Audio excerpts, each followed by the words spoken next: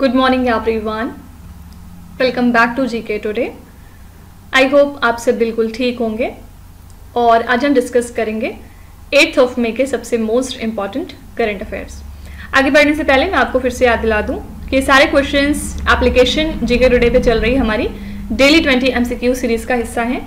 तो अगर आप चाहते हैं कि आप इन क्वेश्चंस को पीडीएफ फॉर्मेट में आ, ले सकें तो आप उनको सब्सक्राइब कर सकते हैं ठीक है? चलिए शुरू करते हैं अपना सेशन और क्योंकि आज वेडनेसडे है तो वेडनेसडे और सैटरडे के दिन हमारा रिवीजन वाला पार्ट नहीं रहता है रादर हम लोग ज़्यादा नंबर ऑफ़ क्वेश्चंस को प्रैक्टिस करते हैं, ठीक ठीक है? चलिए स्टार्ट करते हैं, पहला क्वेश्चन है। Recently which I I T has been granted a patent for its cost effective inverter इसमें से कौन सी आई आई टी है जिसको एक पेटेंट मिल चुका है इनके कॉस्ट इफ़ेक्टिव इन्वर्टर के डेवलपमेंट के लिए? तो ये है first option I I T Patna इन्होंने सिक्योर कर लिया है पेटेंट को अपने लाइट वेट कॉम्पैक्ट इन्वर्टर के लिए। जिसको कि इन्होंने डेवलप किया है अंडर द स्टार्टअप स्कीम जिसका नाम है पोर्टेबल पावर टेक्नोलॉजी ठीक है? तो ये जो इन्वेंशन है, ये इंटीग्रेट करता है बैटरी और इन्वर्टर को सिर्फ़ एक सिंगल यूनिट में, जिससे कि इसका वेट घट के 80 परसेंट तक कम हो जाता है। और इसमें जो है क्लीन एनर्जी जनरेशन काफ़ी ज़्यादा प्रमोट हो रहा है विथ इम्प्रूव्ड बैटरी लाइफ और इस पेटेंट के थ्रू आईटी पटना का कॉपीराइट एंश्योर होता है अगले 20 सालों के लिए, जिससे कि इसको कमर्शियल यूज़ जो है वो फैसिलिटेट होने लगेगा अगले महीने से, ठीक है? तो आईटी पटना ने ये पेटेंट ग्रांट किया है अपने लिए for its cost effective inverter okay recently the Indian Army and the Punit Balan group collaborated to open the India first constitution park in which Indian city simply आपसे exam में one liner form में पूछा जाएगा कि India का पहला constitution park कौन सी city में ओपन हो चुका है। आंसर है यहाँ पे B option that is Pune Indian Army और पुनित बलान ग्रुप ने मिल के इनोग्रेट किया है पुणे का इनोग्रल कॉन्स्टिट्यूशन पार्क जहाँ पे lieutenant general mister Ajay Kumar Singh ने इस सेरेमनी को लीड किया था, ठीक है? यहाँ पे इन्होंने कॉन्स्टिट्यूशनल ड्यूटीज़ जो होती हैं किसी भी सिटीजन की, उसके ऊपर इम्फेसिस किया था और ये बताया था कि ये कितनी ज़्यादा ज़रूरी है इंडिया के प्रोग्रेस के लिए और इस दौरान इन्होंने इंडिया के कॉन्स्टिट्यूशन के ऊपर भी रोशनी डाली थी थोड़ी सी, और जहाँ पे इन्होंने कहा कि जो फंडामेंटल राइट्स और फंडामेंटल ड्यूटीज़ हैं, वो बहुत ज़्यादा इंपॉर्टेंट हैं इंडिया के डेवलपमेंट के लिए, ठीक है? तो यहाँ पे बस हमें याद रखना है कि इंडिया का पहला कॉन्स्टिट्यूशन पार्क स्टैब्लिश हो चुका है पुणे सिटी में। Recently who has been appointed as the presiding officer of the securities appellate tribunal इसके लिए कौन प्रिसाइडिंग ऑफिसर नियुक्त हुए हैं? आपको ये बताना है। इनका नाम है जस्टिस रिटायर्ड दिनेश कुमार ये फॉर्मर चीफ जस्टिस हैं कर्नाटका हाई कोर्ट में। और ये अपॉइंट हो चुके हैं as the presiding officer of securities appellate tribunal जहाँ पे चार महीने से ऑलरेडी वैकेंसी चल रही थी इस पोजीशन पे क्योंकि जो जस्टिस तरुण अग्रवाल हैं वो इसके पहले इस पोजीशन से रिटायर हो, हो गए थे दिसंबर 2023 में ठीक है? तो यहाँ पे इस वैकेंसी को फिल करने के लिए अब नया नॉमिनेशन हो चुका है द जस्टिस दिनेश कुमार का। और अगर हम बात करें एस की यानी कि सिक्योरिटीज अपलेट ट्राइब्यूनल की तो ये एक ऑटोनॉमस बॉडी है जो कि फॉर्म हुई थी under the SEBI act of 1992 और यहाँ पे अपील सुनी जाते हैं against the orders from financial regulators like SEBI हो गया, इसके अलावा P F R D A हो गया, हमारा जो पेंशन रेगुलेटर है, इसके अलावा I R D A I insurance regulator वगैरह। और यहाँ पे बेसिक पर्पस क्या है? जो भी अपील प्रोसेसेस होते हैं आउटसाइड ऑफ़ हाई कोर्ट्स उनको हम स्ट्रीमलाइन करा सकें, ठीक है? तो फ़िलहाल सैट के प्रिसाइडिंग ऑफिसर कौन बने हैं? आंसर है justice retired Dinesh Kumar next question है Red Colobus Conservation Action Plan recently seen in the news is an initiative of which organization? ये कंजर्वेशन एक्शन प्लान किस ऑर्गेनाइजेशन का इनिशिएटिव है? आपको ये बताना है। तो एक नई स्टडी में हाईलाइट हुआ है कि जो रेड कोलोबस है, ये बहुत ही इंपॉर्टेंट है ट्रॉपिकल फॉरेस्ट कंजर्वेशन के लिए। और ये एक तरह के वाइटल बायोडाइवर्सिटी इंडिकेटर्स हैं और one of the two major simian groups हैं ग्लोबली अगर हम देखें तो। तो फ़िलहाल ये बहुत ज़्यादा एक्सटिंक्शन फेस कर रहे हैं because of hunting and habitat loss ठीक है? तो इसमें से आधे की पॉपुलेशन एंडेंजर्ड में आती है और इसके अलावा जो आधे हैं वो क्रिटिकली इंडेंजर्ड की कैटेगरी में आते हैं। तो red colobus conservation action plan lead करता है आयु सी एन जहाँ पर पर्पज क्या है इनका? जो भी इनका कंजर्वेशन का मेथड है, या प्रोसेस है, उसको हम प्रायोरिटाइज करें और अफ्रीका के फॉरेस्ट को सेफ़ गार्ड कर सकें एंड जो भी अनसस्टेनेबल हंटिंग हो रही है, उसको हम कर्व करें, ठीक है? तो ये जो एक्शन प्लान है, ये किसका है? आंसर है आयु सीन ओके नेक्स्ट है according to Invest India report India e commerce market is expected to grow to 325 billion dollars by which year Invest India के रिपोर्ट के मुताबिक इंडिया का जो ई कॉमर्स मार्केट है वो 325 बिलियन डॉलर्स तक बढ़ के पहुँच जाएगा। किस साल तक? आपको ये बताना है। तो इन्वेस्ट इंडिया ने प्रोजेक्ट किया है इंडिया का ई कॉमर्स कि वो रीच करेगा 325 बिलियन डॉलर्स तक बाय द एंड ऑफ़ 2030 और इसमें 500 मिलियन कंज्यूमर्स इन्वॉल्व होंगे। इसी के साथ इसमें एक वाइड स्प्रेड इंटरनेट एक्सेस हमें देखने को मिलेगा। ठीक है?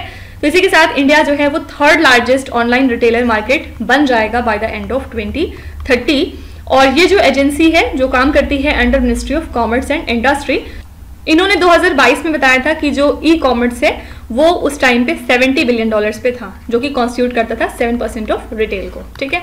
तो हमें सिंपली इन्वेस्ट इंडिया की रिपोर्ट से याद रखना है कि इंडिया का e commerce market 325 billion dollars तक पहुँच जाएगा by the end of 2030 okay देखिए सारी रिपोर्ट्स इंपॉर्टेंट नहीं होती लेकिन फिर भी जैसे मूडी की रिपोर्ट अगर आ रही है इन्वेस्ट इंडिया की आ रही है अगर डब्ल्यू कोई रिपोर्ट रिलीज़ कर रहा है तो ये सारी आपके एग्ज़ाम में पूछी जाती हैं ठीक है Recently, which organization has advised all the states and the union territories to completely prohibit all harmful sharp threats और mantra? कौन सी इसमें से ऑर्गेनाइजेशन है जिसने कि सभी स्टेट्स और यूनियन टेरिटरी को ये एडवाइस दी है कि उन्हें मांझा जिसको आप शार्प थ्रेट कहते हैं इसको कंप्लीटली प्रोहिबिट कर देना चाहिए ये है animal welfare board of India that is B option इन्होंने सारी स्टेट्स और यूनियन टेरिटरीज को रिक्वेस्ट करा है कि उन्हें फुली प्रोहिबिट करना होगा इस शार्प थ्रेट को। और इसके अलावा दिल्ली हाई कोर्ट ने इंस्ट्रक्ट किया था दिल्ली गवर्नमेंट को कि उन्हें पॉलिसी इस्टेब्लिश करनी होगी। अगर कोई भी एक्सीडेंट होता है इसकी वजह से तो जो भी उसके कंपनसेटिंग विक्टिम्स होंगे, उनको बेसिकली कंपनसेट करना पड़ेगा, ठीक है? तो 2017 में जो एनजीटी है, इन्होंने मैंडेट किया था कंप्लीट बैन मांझा के ऊपर। और अगर हम animal welfare board of India की बात करें तो ये एक स्टैचुटरी एडवाइजरी बॉडी है, जिसको कि फाउंड किया गया था under the prevention of cruelty to animals act of 1960 ठीक है? और ये ऑपरेट होता है फ्रॉम बल्लाभगढ़ और फरीदाबाद हरियाणा यहाँ पे बेसिक फोकस है एनिमल वेलफेयर और उनको ग्रांट्स प्रोवाइड करना। ठीक है? तो animal welfare board of India ने एडवाइस किया है सभी स्टेट्स और यूटीज को कि उन्हें कंप्लीटली प्रोहिबिट करना होगा अपना हार्मफुल शार्प थ्रेड जिसको आप मांझा भी कहते हैं, ठीक है?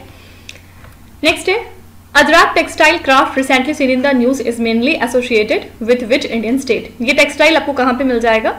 आंसर हो जाएगा C option that is Gujarat किस वजह से न्यूज़ में आया?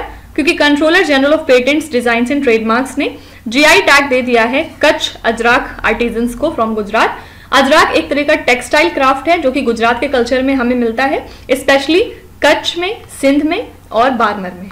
ठीक है? इसमें जो है इंट्रिकेट हैंड ब्लॉक प्रिंटिंग होती है कॉटन क्लोथ के ऊपर। और अजराक का मतलब एक तरह से इंडिगो भी होता है। तो ट्रेडिशनली अजराक के जो प्रिंट्स होते हैं, उसमें आप स्काई कलर देखेंगे लैंड और फायर को मिला के कुछ पेंटिंग्स बनाई जाती हैं। और ये रिफ्लेक्ट करता है रिच सिंबोलिज्म और हिस्ट्री को। ठीक है? तो अजराक टेक्सटाइल क्राफ्ट कहाँ पे एसोसिएटेड है? कहाँ से एसोसिएटेड है? आंसर है गुजरात। किस वजह से न्यूज़ में है? क्योंकि हाल ही में इसको जीआई टैग मिल चुका है। Which day celebrated as world tuna day every year world tuna day हम कब मनाते हैं? इसको एनुअली सेलिब्रेट किया जाता है सेकेंड ऑफ़ मे को, यानी कि बी ऑप्शन और ये हाईलाइट करता है ग्लोबल ट्यूना के डिक्लाइन में और इस दिन हम इस बात पे फोकस डालते हैं कि इंटरनेशनल रेगुलेशंस को एनफोर्स करना कितना ज़रूरी है इनके प्रिजर्वेशन के लिए। ट्यूना क्योंकि वाइटल है डेवलप्ड और डेवलपिंग नेशंस के लिए। और फ़िलहाल ये बहुत ज़्यादा थ्रेट फेस कर रहे हैं बिकॉज़ ऑफ़ ओवर फिशिंग ठीक है? तो इस दिन हम इस बात पे इंफासिस करते हैं कि हमें सस्टेनेबल फिशिंग प्रैक्टिसेस की ज़रूरत है by reducing the by catch और इंटरनेशनल कॉपरेशन को प्रमोट करने की ज़रूरत है to ensure the future tuna supplies और ये सर्व करते हैं as a crucial reminder of the urgent need जिसमें कि हम इन चैलेंजेस को एड्रेस कर सकें बिकॉज़ जिसकी वजह से जो भी tuna industry globally challenges face कर रही है उसको हम एड्रेस करें ठीक है? तो वर्ल्ड ट्यूना डे हर साल हम दो मई को ऑब्ज़र्व करते हैं।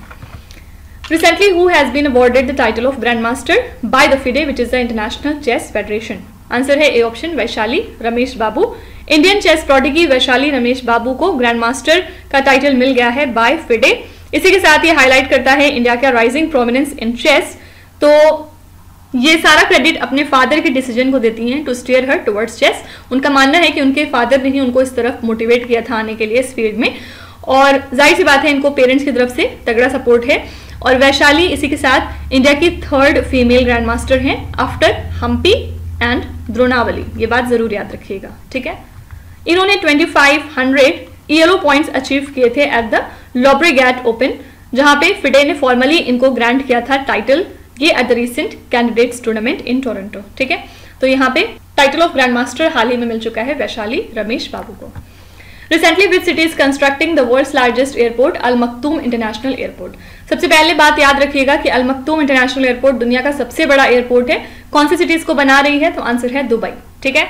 दुबई डेवलप कर रही है दुनिया की सबसे बड़ी एयरपोर्ट को, जिसका नाम है Al Maktoum international airport under Sheikh Mohammed bin Rashid Al Maktoum leadership ठीक है? इसमें जो है 260 मिलियन पैसेंजर्स एनुअली विज़िट करेंगे मतलब इसकी कैपेसिटी है इतनी, और इसमें फीचर होंगे 400 टर्मिनल गेट्स और 5 पैरेलल रनवेज बियॉन्ड ट्रांसपोर्टेशन इसका एम है कि ये इंटीग्रेट कर सके इसको into the urban life commerce and global trade तो ये एम्बिशियस प्रोजेक्ट अंडरस्कोर करता है दुबई के डेडिकेशन को to the innovation and global connectivity ठीक है? तो अलमकतूम इंटरनेशनल एयरपोर्ट दुनिया का लार्जेस्ट एयरपोर्ट है। कौन सी सिटीज़ को कंस्ट्रक्ट कर रही है? Your answer is B option that is Dubai Bhimtal lake recently seen in the news due to forest fire is located in which Indian state Bhimtal lake जो आजकल चर्चे में है बिकॉज़ ऑफ़ फॉरेस्ट फायर ये कौन से state में लाई करती है? आंसर है यहाँ पे C option that is Uttarakhand. हाल ही में इंडियन एयरफोर्स की हेलीकॉप्टर ने यहाँ पे वाटर कलेक्ट किया था भीमताल लेक से, जो कि लाई करती है नैनीताल उत्तराखंड में। किस लिए? क्योंकि यहाँ पे पास में एक फॉरेस्ट फायर स्टैब्लिश हो गई थी उसको कंट्रोल करने के लिए, ठीक है? तो इंडियन आर्मी और इंडियन एयरफोर्स ने यहाँ पे काफ़ी ज़्यादा मशक्कत की थी to control the blaze with M I one seven choppers जिसकी हेल्प से ये वाटर को उठा रहे थे इस लेक से फॉर फायर फाइटिंग एफर्ट्स ठीक है?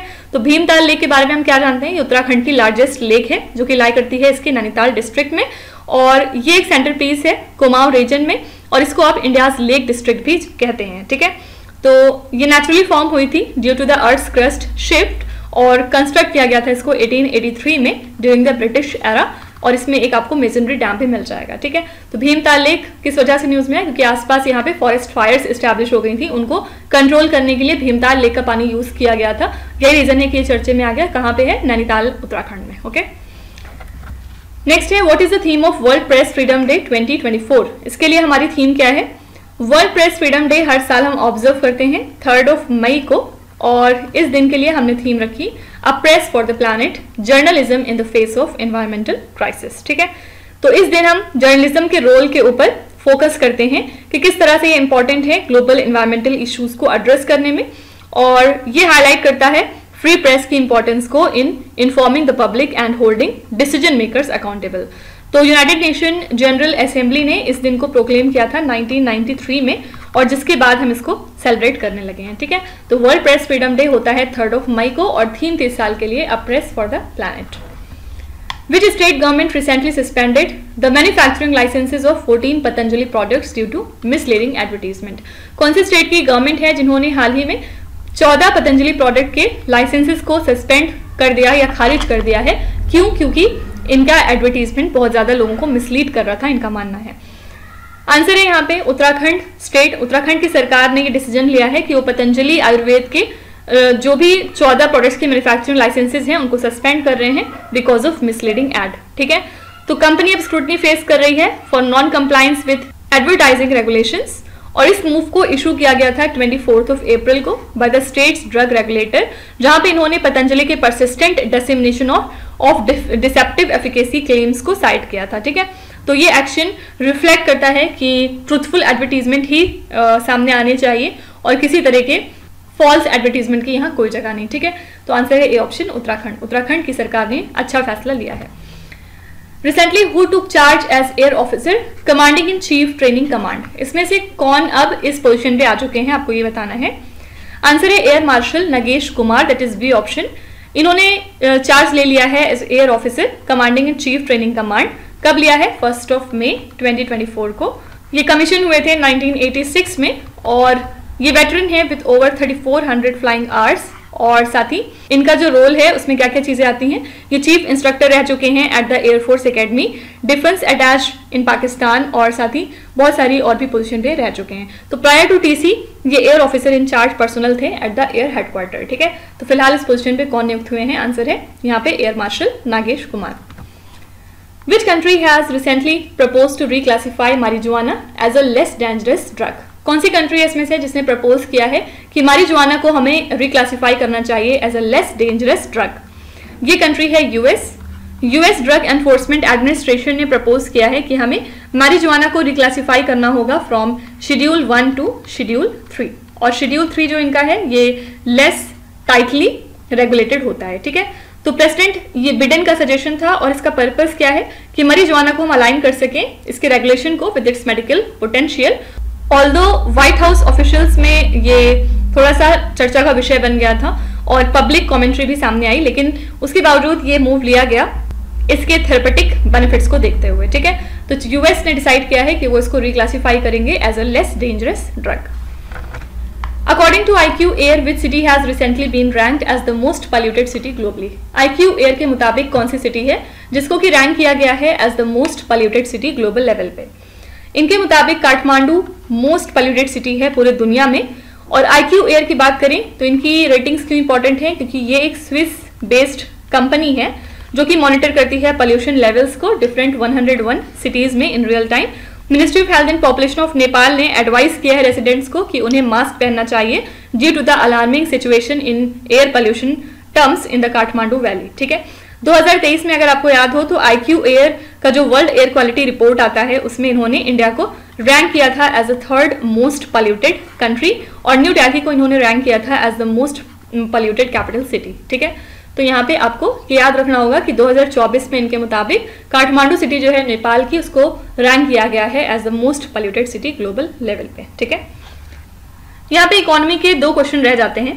देखिए, हाल ही में सेबी ने कुछ चेंजेस अप्रूव किए हैं in the mutual fund regulations जिससे कि फ्रंट रनिंग को कॉम्बैट किया जाए इंडियन असेट मैनेजमेंट कंपनीज़ में, ठीक है? तो फ्रंट रनिंग से आप क्या समझते हैं?